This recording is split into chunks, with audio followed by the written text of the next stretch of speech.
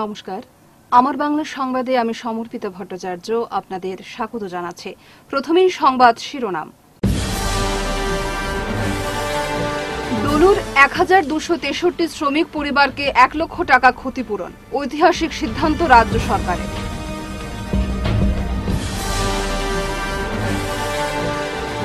জল জীবন মিশনের সরকারি টাকা নয় ছয়ের অভিযোগ, সরব হাতে ছড়ার স্থানীয়রা।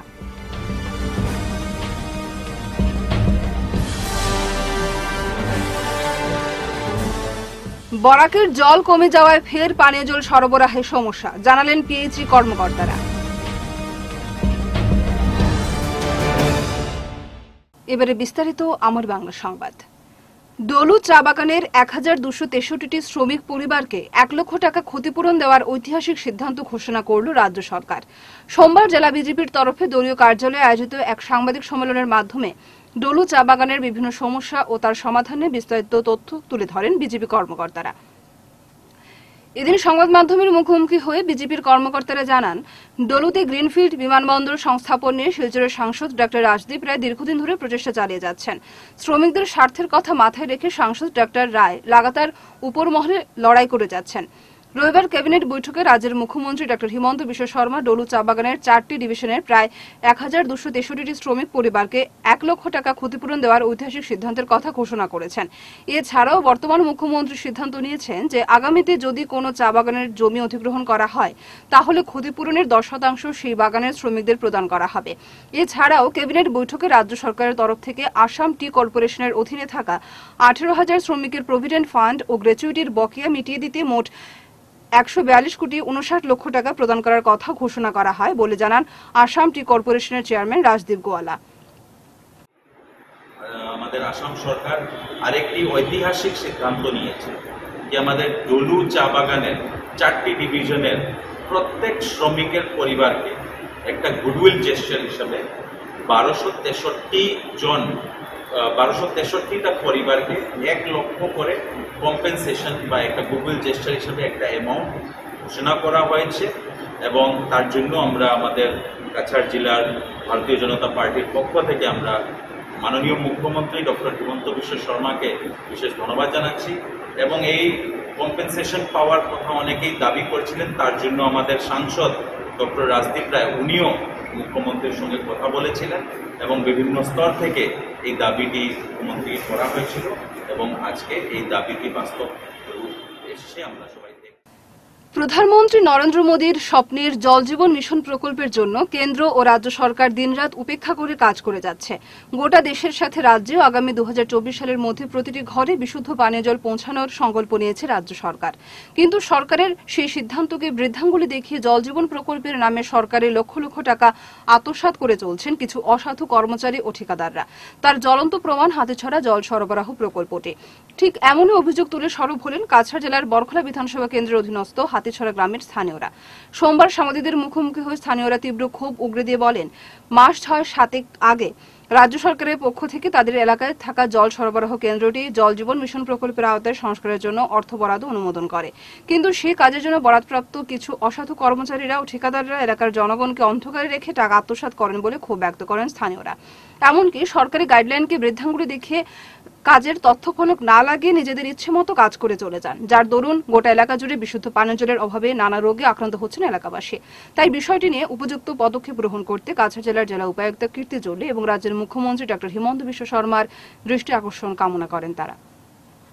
আর বললেই আমরা যদি বলি তো বলে বলে হবে হবে। বলে করে এতদিন লেখা আছে আমরা কোনো জলুল নাই পাচ্ছি এতদিন আর কন্ট্রাক্টরকে বললেই মানে ওই বাগে হ্যাঁ। যাচ্ছে। বলে কত পাইপ লাগাইলো। আশা করে একদিন দুদিন মাসে আশা করে যখন মানুষ বলে তো এক দুদিন কাম করে আবার ছাড়ে চলে যায়। যদি এরকম করে তো আমরা কেমনে চলবো? ওইটা আপনারা দেখে আমার বেতন নাই ফেতন নাই তো আর আসতে এতদিন না। আজকে একজনকে আমরা আশা করে ওইদিকে বলেছিলি ও ছাড়ে করে চলে গেল। বলতে বলতে মানুষ চলে গেল। এরকম করলে হবে কার? পুরো ওয়াল ওয়াল করেছে সব ভাঙ্গে যাচ্ছে। সব দুই নম্বরের সামান করে লাগাই দিয়ে বোর্ডিং বোর্ডিং বোর্ডিং হয়েছে না। বাউন্ডারি ওয়াল আছে বাউন্ডারি ওয়ালও না দয়া করে ডিসির কাছে যাতে আমরা ওটা করার জল পাই যেমনে। আমরা বাচ্চা কাচ্চা যখন ফেলাটোর সময় চারিদিকে জলের অভাব। জল তো খারাপ খাইয়া বাচ্চা কাচ্চা অসুখ বিসুখ ওর ওইটা আপনারা কইয়া ডিসি স্যারের কাছে কইয়া ওইটা আমরা কেমনে পাওয়া যায় ওইটা একটা দেখবার সুবিধা করে দিন। শিলচর শহরে পানীয় জল সরবরাহ করতে পুনরায় অসুবিধার সম্মুখীন হচ্ছেন জনস্বাস্থ্য কারিগরি বিভাগের কর্মকর্তারা। উল্লেখ্য সপ্তাহ দুয়েক আগে ভয়াবহ বন্যায় বরাক নদীর জল বেড়ে যাওয়ায় সদরঘাট স্থিত পানীয় জলের বার্জ লাইন বিচ্ছিন্ন হয়ে পড়েছিল। পরে শিলচরের বিধায়ক দীপায়ন চক্রবর্তীর তৎপরতায় যুদ্ধকালীন পরিস্থিতিতে কাজ করে দু তিন দিনের মধ্যেই শিলচরের সাধারণ জনগণকে পানীয় জল সরবরাহ করতে সক্ষম হয়েছিল সংশ্লিষ্ট বিভাগ। কিন্তু বর্তমানে দ্রুতভাবে নদীর জল কমতে শুরু করায় ফের বিপত্তিতে পড়ল জল সরবরাহ বিভাগ। সোমবার জল সরবরাহ বিভাগ এবং শিলচরের বিধায়ক প্রতিনিধি সঞ্জয় রায় এক সাংবাদিক সম্মেলন আয়োজন করে বলেন, হঠাৎ করে নদীর জল কমে যাওয়ায় বার্সটিতে কিছুটা যান্ত্রিক গোলযোগ ঘটে। এর পরিপ্রেক্ষিতে পিএইচি বিভাগ আগামী দুদিন জল সরবরাহ করতে পারবে না। তবে তারা আশ্বাস দিয়ে জানান যে কোনো অবস্থায় চেষ্টা করে দুদিন একবেলা পানীয় জল সরবরাহ করার ব্যবস্থা করবেন এবং আগামী বৃহস্পতিবার থেকে স্বাভাবিকভাবে জল সরবরাহ করবে সংশ্লিষ্ট বিভাগ বলে জানান। বরাক নদীর জল প্রচণ্ডভাবে বেড়ে বেড়ে যাওয়ার পর এবং খুব কারেন্ট ছিল তখন আমাদের এই বার্জের লাইন ছিঁড়ে একদম অনেক দূরে চলে গেছিল বার্জ। সেটাকেও আবার হাইড্রার মাধ্যমে আমরা জায়গায় এনে মানুষকে জল দেওয়ার জন্য চেষ্টা করেছি। আমাদের মাননীয় বিধায়ক, উনি আমাকে নির্দেশ দিয়েছেন যে যখন যা করতে হলে করে মানুষকে, শিলচর শহরে মানুষকে যাতে পানীয় জল দিতে আমরা সচেষ্ট থাকি, সেই জন্য আমরা নজর রাখতে।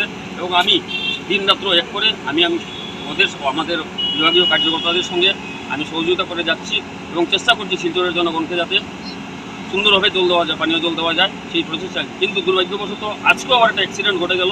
জল অতি সত্তর জলটা নিচে চলে গেছে, যাওয়াতে গিয়ে বাস আমাদের আবার মাটির মাটির মধ্যে পড়ে গেছে। তাও একজন মানুষ দিয়ে আমরা চেষ্টা করেছি যে লুক দিয়ে আমরা বাসটাকে জায়গাতে নিয়ে নেওয়া, পৌঁছাতে পারি কিনা কিন্তু না পারাতে। শেষ পর্যন্ত আবার বাধ্য হয়ে হায়দ্রা আনতে বাধ্য হয়েছি। হায়দ্রার মাধ্যমে বাসটাকে জায়গায় নিয়েছি। নেওয়াতে গিয়ে আমাদের কেবল লাইন যেটা আমার এসডিও স্যার বলেছেন, কেবল আমাদের ইলেকট্রিক কেবল লাইন ছিঁড়েছে পাইপ লাইনেও অনেক আবার জয়েন করতে লাগবে। সেখানে গিয়ে গতকাল, আগামীকালকে হয়তো একবেলা সাপ্লাই হবে দুই বেলা সাপ্লাই দেওয়া সম্ভব নাও হতে পারে। কিন্তু আগামী পরশু থেকে আবার দুই বেলা সাপ্লাই দেওয়ার আমরা প্রচেষ্টা চালিয়ে যাব এবং এই বলে এবং সোমবার শিলচর চব্বিশ নং ওয়ার্ডের প্রাক্তন পৌর কমিশনার বিশ্বজিৎ সোমের নেতৃত্বে স্বেচ্ছাসেবী সংগঠন জ্যোতির কর্মকর্তারা তারাপুর চব্বিশ নং ওয়ার্ডের বিভিন্ন বন্যা কবলিত এলাকায় চুন ও ব্লিচিং পাউডার ছিটিয়ে জনগণের সেবায় নিয়োজিত হতে দেখা গেছে। এদিন অন্নপূর্ণা ঘাট ও শিলচর রেল স্টেশন সহ বিভিন্ন এলাকাতে চুন, ব্লিচিং পাউডার ছিটিয়ে দেওয়া হয় সংগঠনের তরফ থেকে। পরিষ্কার পরিচ্ছন্ন রাখার পাশাপাশি জনগণকে রোগমুক্ত করার উদ্দেশ্যেই সংগঠনের এই প্রয়াস বলে এদিন জানান কর্মকর্তারা। আজকে আমরা চব্বিশ নম্বর ওয়ার্ডের রেলওয়ে কলোনিতে যে জায়গাগুলি অনেক বেশি ফ্লাডের সময় এফেক্টেড হয়েছে তো আমরা রেলওয়ে কলোনির পুরো অঞ্চলটারে আমরা আজকে চুন ব্লিচিং দিয়া এই জায়গাগুলিরে দিছি। আমার লগে আসিল জ্যোতি এনজিও, যারা সহযোগিতায় আমরা এই কাজটুকু করতে পারছি। আমি ধন্যবাদ জানাই জ্যোতি এনজিও প্রত্যেক সদস্যরে, প্রকাশ তারারে, যারা আমারে এই মহান কাজ করার লিগা যে হেল্পটুকু এরা করছে। আজকে থেকে আমরা শুরু করছি, আমরা প্রায় তিন চার দিন এটা চলবো। কালকে আমরা নিউ কলোনি, তারাপুরের কিছু অংশ, যে জায়গাগুলিতে ফ্লাডে বেশি এফেক্টেড হয়েছে আমরা ওই জায়গাগুলিতে নিজেরার তরফ থেকে, জ্যোতি এনজিও প্লাস আমি আমার ব্যক্তিগত তরফ থেকে আমরা চুন ব্লিচিং যতটুকু পারছি এফেক্টেড জায়গাগুলিতে আমরা ছিত্রায় দিলাম। ডলু চা বাগান এলাকায় প্রস্তাবিত গ্রিনফিল্ড বিমানবন্দর তৈরির ক্ষেত্রে সরকারের এই সিদ্ধান্তের তীব্র বিরোধিতা করে প্রতিবাদে সরব হলেন উধারবন্দের দয়াপুর চা বাগানের শ্রমিকরা। রবিবার সকালে বাগানের শ্রমিকরা নাচঘরে একত্রিত হয়ে এক সভা অনুষ্ঠিত করে সরকারের এই সিদ্ধান্তের তীব্র বিরোধিতা করেন। বর্তমান সরকার এবং বিগত কংগ্রেস সরকার চা শ্রমিকদের ওপর অত্যাচার করে চলছে বলে অভিযোগ করেন ক্ষুব্ধ শ্রমিকরা। বাগান শ্রমিক মনিলাল কোঁর বলেন, বরাক উপত্যকায় প্রত্যেকটি প্রকল্প তৈরি হয়েছে চা বাগানের উপর ভিত্তি করে। দয়াপুর চা বাগানের জমিতে সিআরপিএফ ক্যাম্প তৈরি করা হয়েছে। শিলচর মেডিকেল কলেজ থেকে শুরু করে দরগাকোনা চা বাগানের উপর আসাম বিশ্ববিদ্যালয় বরাখাই চা বাগানের জমিতে, শিলচর পলিটেকনিক্যাল এবং কুম্ভীরগ্রাম চা বাগানের জমিতে বিমানবন্দর স্থাপন করা হয়েছে। বিভিন্ন সময়ে শ্রমিকদের মিথ্যা আশ্বাস দিয়ে বাগানের জমিতে তৈরি এসব প্রকল্পগুলো তৈরি করা হয়েছে বলে অভিযোগ করেন তিনি। ইও বলেন, বাগানের জমিতে নানা প্রকল্প গড়ে উঠলেও সব ক্ষেত্রেই বঞ্চিত হতে হয়েছে বাগান শ্রমিকদের। কংগ্রেস সরকারের পর এবার বিজেপি সরকার ডলু চা বাগানের জমিতে বিমানবন্দর স্থাপনের সিদ্ধান্ত নিয়েছে। সরকারের এই সিদ্ধান্তে তীব্র বিরোধিতা করে বিমানবন্দর স্থাপনের সিদ্ধান্ত প্রত্যাহারের দাবি জানান ক্ষুব্ধ চা শ্রমিকেরা। এদিনের সভায় উপস্থিত ছিলেন বাগান সভাপতি শিশুপাল সাঁওতাল, সম্পাদক সচিন্দ্র চাষা সুধীর সাঁওতাল, মালতী রিকিয়াসন সুকুমণি সাঁওতাল প্রমুখ।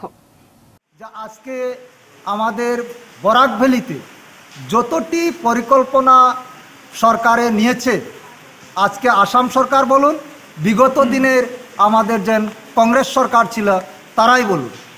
আজকে ওই কংগ্রেস সরকারে আমাদের যে যতটি পরিকল্পনা করেছে, সমস্ত চা বাগানের উপরেই হয়েছে। আমাদের দয়াপুর চা বাগানে কিছু মাটি বিক্রি করে এই মাটির উপরে সিআরপিএফ ক্যাম্প গড়ে তুলেছে। এই ক্যাম্প গড়ে তোলার সময় আমাদেরকে ভাওতা বুঝ দেওয়া হয়েছিল যে এই চা বাগানে সিআরপিএফ ক্যাম্প হলে শ্রমিকের উন্নয়ন হবে। কিন্তু আজ পর্যন্ত দেখা যাচ্ছে যে শ্রমিকের কোনো উন্নয়ন হয়নি। আমাদের সিআরপিএফে প্রত্যেকই প্রত্যেক বছরই রিক্রুটমেন্ট হয়। কিন্তু কোনো রিক্রুটমেন্টে কোনো শ্রমিকের, কোনো শ্রমিক ভাইকে এখানে রিক্রুটমেন্ট করা হয়নি, কোনো কৌটা নাই। এরপর আমাদের যে মেডিকেল কলেজ বানানো হয়েছে, সেই কলেজটিও চা বাগানের মাটির উপরে আছে। পলিটেকনিক্যাল যেটা করা হয়েছে, বরাখালি চা বাগানের উপরে করা হয়েছে। আজকে কুমিগ্রাম এয়ারপোর্ট করা হয়েছে, সেটাও চা বাগানের মাটিতে করা হয়েছে। ইউনিভার্সিটি করা হয়েছে, সেটাও দরগাকোনা চা বাগানের মাটিতে করা হয়েছে।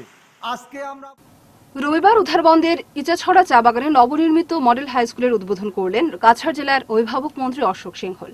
এদিন বিকেল চারটে নাগাদ উধারবন্দের ইচাছড়া চা বাগানে নবনির্মিত মডেল হাই স্কুলের উদ্বোধন করেন তিনি। এছাড়াও একই দিনে কাছাড়ে চারটি মডেল হাই স্কুলের উদ্বোধন করেন মন্ত্রী। উদ্বোধন শেষে মন্ত্রী বলেন, আগামী দু বছরের মধ্যেই এই স্কুলগুলো হায়ার সেকেন্ডারিতে উন্নীত করার প্রচেষ্টা রয়েছে মুখ্যমন্ত্রীর। স্বাধীনতার পঁচাত্তর বছর পর সরকারি উদ্যোগে বাগান এলাকায় শিক্ষার্থীদের শিক্ষা অর্জনের জন্য সুযোগ করে দিয়েছেন রাজ্যের মুখ্যমন্ত্রী বলে জানান তিনি।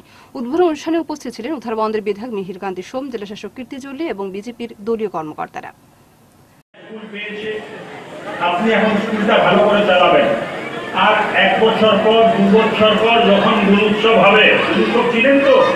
গুণোৎসব যখন হবে, তখন আপনি এটা চিন্তা করে কাজ করবেন যে আগামী আমার জেলার যখন গুণোৎসব হবে, আমার এই স্কুলটা কাছাড় জেলার ভিতরে এক নম্বরে থাকবে, এমন একটা ব্যবস্থা।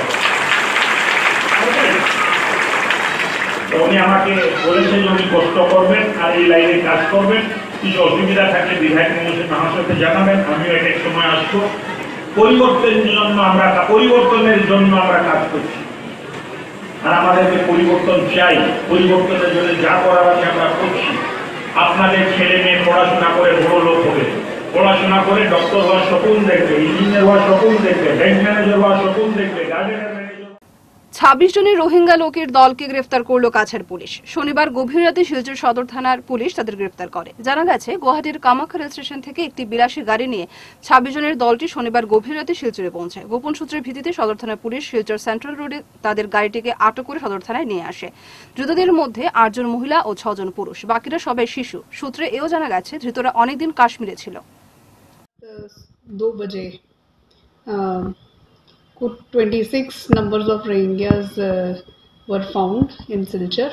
तो उनका इनिशियल प्रिलिमिनरी पूछताछ के बाद पता चला है कि ये लोग तीन फैमिलीज़ हैं जिनमें टोटल कुल मिला के बारह बच्चे हैं और uh, ये लोग uh, म्यांमारी नेशनल्स हैं uh, ज़्यादा डॉक्यूमेंट्स इनके पास नहीं मिले हैं फर्दर पूछताछ जारी है प्रिलिमिनरली ये पता चला है कि ये लोग कल रात गुवाहाटी पहुँचे हैं जम्मू से by train and someone had contacted them out here तो further investigation in the matter is ongoing तो will update you once we get further inputs on this say that is again a matter of this thing इनके तरफ़ से कुछ लोग बोल रहे हैं कि काफ़ी साल पहले आए हैं बट कुछ लोग नए हैं कचार में वही बता रहे हैं कि किसी ने इनको कांटेक्ट करके इनको बुलाया था चमड़ा गोदाम एरिया में बट उसके आगे का क्या लिंक है इनका और वो कौन है जिन जिन्होंने इनको बुलाया था?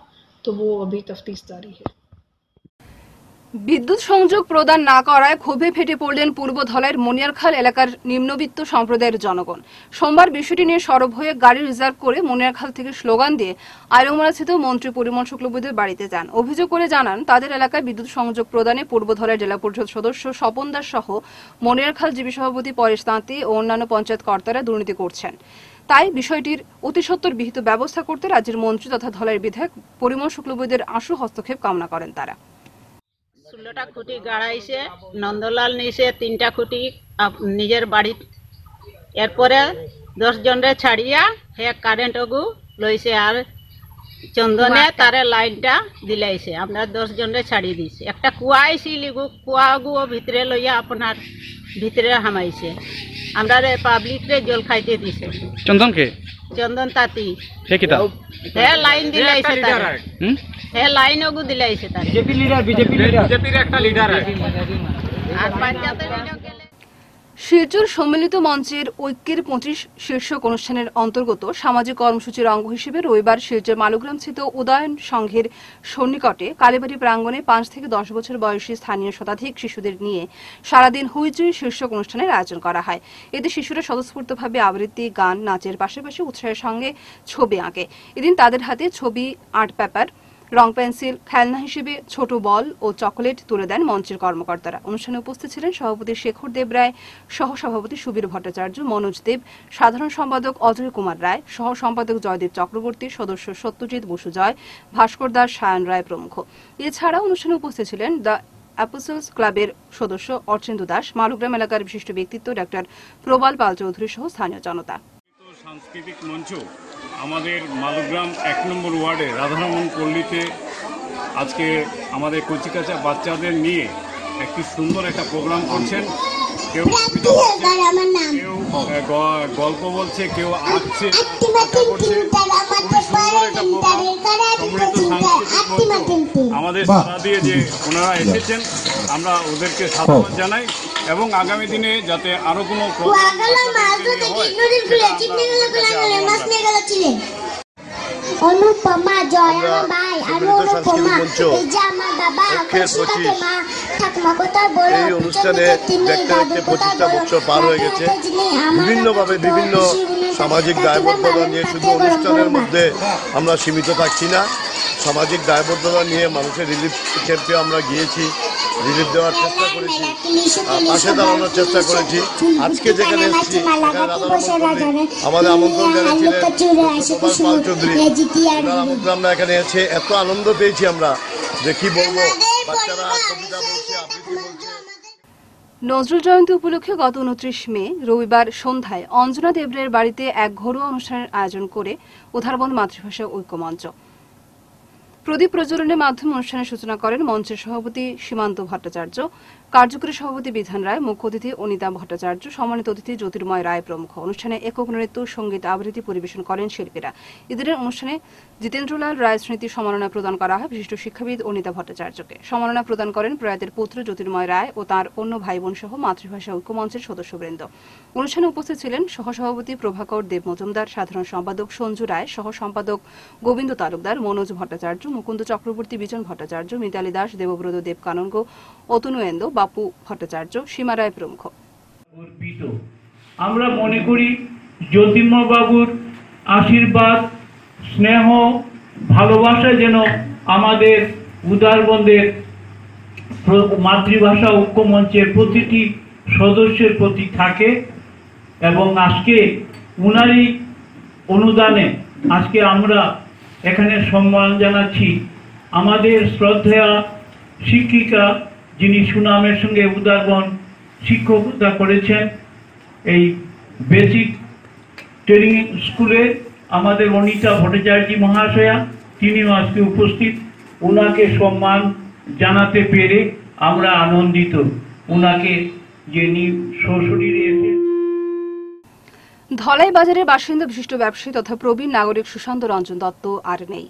শুক্রবার হৃদরোগে আক্রান্ত হয়ে শিলচরের বেসরকারি হাসপাতালে তিনি শেষ নিঃশ্বাস ত্যাগ করেন। মৃত্যুকালে বয়স হয়েছিল বিরাশি বছর। রেখে গেছেন স্ত্রী শিখা দত্ত, দুই পুত্র সুরজিৎ দত্ত ও শুভজিৎ দত্ত। উল্লেখ্য, প্রয়াত দত্ত ধলাইয়ে বাদল দত্ত হিসেবে বেশি পরিচিত ছিলেন।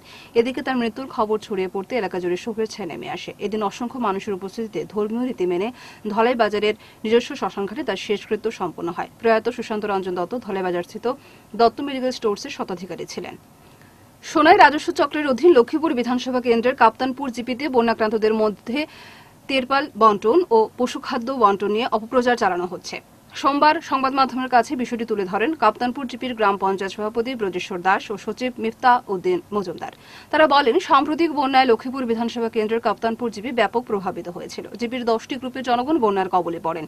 এই অবস্থায় সোনাই রাজস্ব চক্র থেকে জিপির বন্যাক্রান্তদের জন্য ত্রিশটি তেরপাল বরাদ্দ হয়। আর এক একটি গ্রুপে পঞ্চাশ জনের অধিক দাবিদার ছিলেন। তাই বিষয়টি চক্র আধিকারিককে জানিয়ে তখনকার মতো তিরপাল বন্টন না করে সভাপতির বাড়িতে মজুদ রাখা হয়েছিল। কিন্তু দেখা যায়, এ নিয়ে নানা অপপ্রচার চালানো হচ্ছে। এদিকে জিপিতে কোনো পশুখাদ্য বরাদ্দ হয়নি বলে জানান সচিব। তাই তেরপাল বন্টন ও পশুখাদ্য নিয়ে একটি চক্র উদ্দেশ্য প্রণোদিতভাবে অপপ্রচার চালাচ্ছে বলে মনে করেন সভাপতি ও সচিব।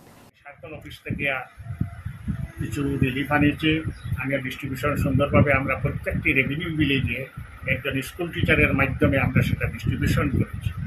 তদ্রূপভাবে আমরা চিস্টা তেপ্রাল তেপলিন আমরা এনেছিলাম, যেটা এখনও আমার প্রেসিডেন্ট স্যারের ঘরে আছে স্টক আছে। এখন আমি প্রথমে বড়মামদাতে তেরপাল বন্টনের কিছু প্রচার করেছিলাম। দেখলাম বড়মামদার থেকেও প্রায় একশোর উপরে তেরপাল পাওয়ার জন্য আমরা দাবি করছি। বিভিন্ন জায়গার থেকে এইভাবে দাবি করায়। আমরা ভয় পেয়েছি। এইগুলো আমরা ডিস্ট্রিবিউশনে গেলে আমাদের অসুবিধা হবে।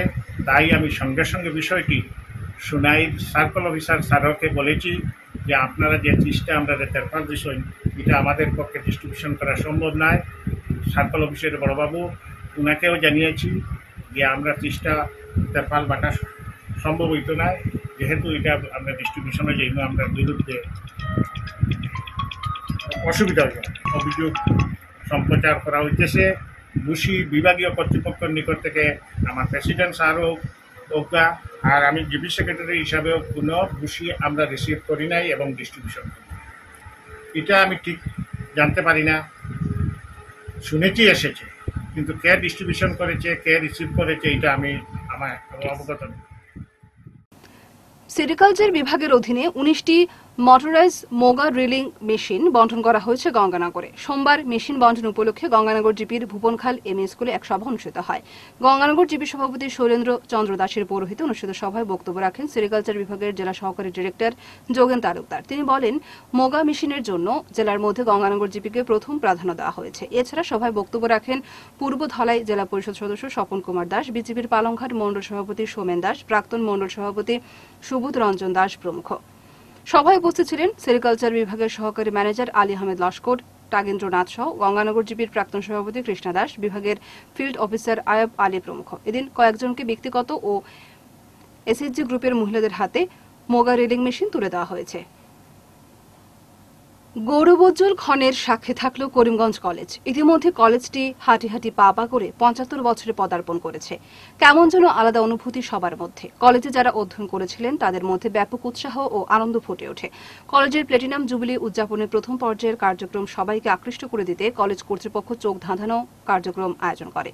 সোমবার করিমগঞ্জের রাজপথ লোকে লোকারণ্য হয়ে ওঠে।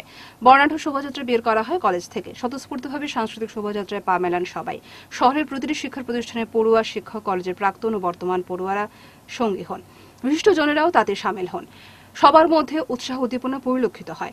শোভাযাত্রার বিশেষ আকর্ষণ ছিল হাতিসহ সুসজ্জিত ট্যাবলো। শোভাযাত্রা করিমগঞ্জ কলেজের মাঠ থেকে শুরু হয়ে শহরের গুরুত্বপূর্ণ এলাকা পরিক্রমা করে।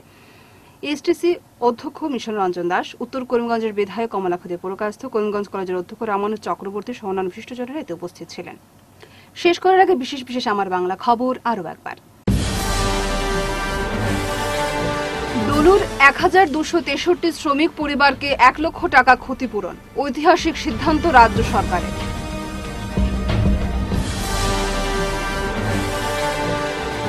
জলজীবন মিশনের সরকারি টাকা নয় ছয়ের অভিযোগ, সরব হাতি ছড়ার স্থানীয়রা।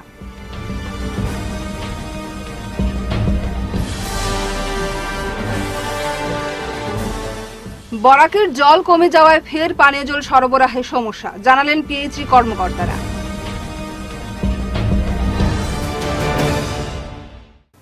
এখনকার মতো আমার বাংলা সংবাদ এ পর্যন্তই, নমস্কার।